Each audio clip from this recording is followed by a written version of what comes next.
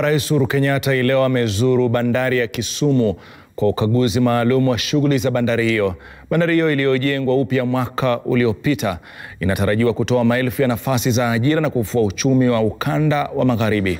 Bandari hiyo aidha ilianza shughuli mapema mwakani ambapo feri ya MV Uhuru husafirisha lita milioni moja nukta sita za mafuta hadi katika bandari ya Port Bell nchini Uganda. Kwa sasa serikali kuu inaimarisha miundo msingi itakayoimarisha shughuli bandarini humo ikiwemo ujenzi wa reli ya Nakuru Kisumu itakayogharimu shilingi bilioni 3.7.